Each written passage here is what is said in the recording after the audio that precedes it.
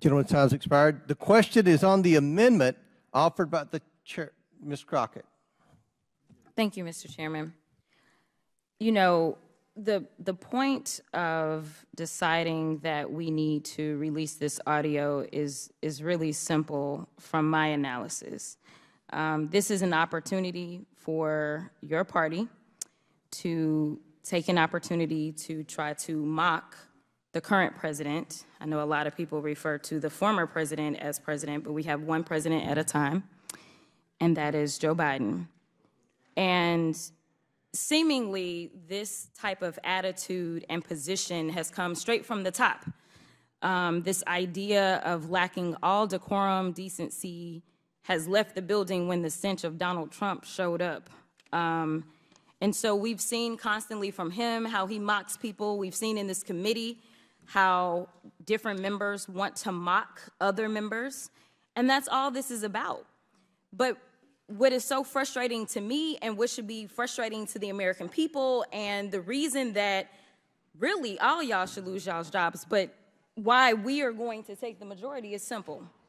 Is because we showed up ready to work earlier today like we always do. And now it is currently 10 p.m., and we are still here because we are committed to doing the right thing. And my question is really simple. It's a matter of if this was such a big deal, if it was a matter of an emergency, if this was so important as it relates to whether or not the President of the United States has done something so wrong, then why is it that we couldn't have our hearing at 11 o'clock this morning instead of members being in a criminal courthouse with a twice impeached, over 88 count indicted sexual abuser instead of being here to do the work of the American people if this was serious. This is the reason that people don't believe that we are doing Mr. serious Mr. Chairman, work point of order. here. I'd last, I'd Uh, ask the, State your point. my, my point of order is this.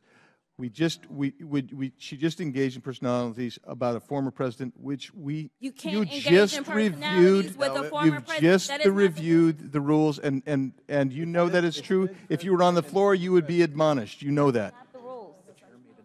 That's not the rules. Right. That point of order would not be entertained. That what? You, you made an announcement that, that engaging in personality. Mr. Chairman, I'll further say, if this happened Yeah, on the floor, right. you would be It- admonished by the your- your- Your point is, is correct. No, no, the, uh, the, you, you made an, in this circumstance, you made an announcement, I believe, that points of order about insulting presidents or former presidents are not in order in this hearing because you, you're, I, I, I take it, you're going after Joe Biden, and so, I, I gave it to him. I don't know what it is. Okay. All right. I think you carved out an exception to that rule. Okay, point of order overruled. Ms. Crockett, finish, please. I'll yield the remainder of my time. to- All right, Thank you. Would, would my friend yield to me? Yes, I'll yield the remainder I, of th- my time. I thank the gentlelady. you know, originally we have a motion, the, an, an ANS to, to hold the Attorney General in contempt because he did not produce one item, an audio tape of the transcripts that were provided in full. And we decided apparently that that was what we were going to do because we're not sure about our chances in a court of law, which is really where this needs to be adjudicated. Now we have an amendment to the ANS taking cognizance of the development today in which the, the White House, not an unusual development and not always justified, invokes executive privilege. Now, that is as old as the Republic. In fact, the first president to invoke executive privilege was George Washington, who did not want to provide uh, documents regarding the Jay Treaty because it was controversial and might embarrass the White House.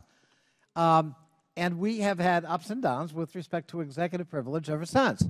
But the proper venue for adjudicating this is in a court of law.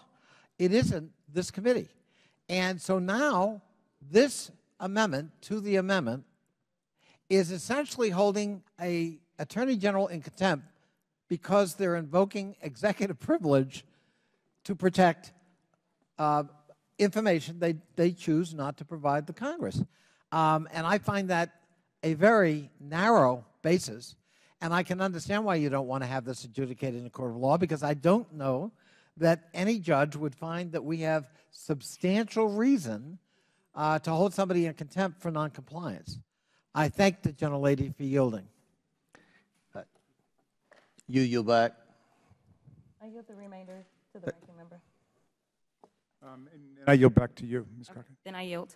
Thank you. The question is now on the amendment offered by the chairman. All those in favor signify by saying aye. aye. Aye. All those opposed signify by saying no. No. In the opinion of the chair, the ayes have it.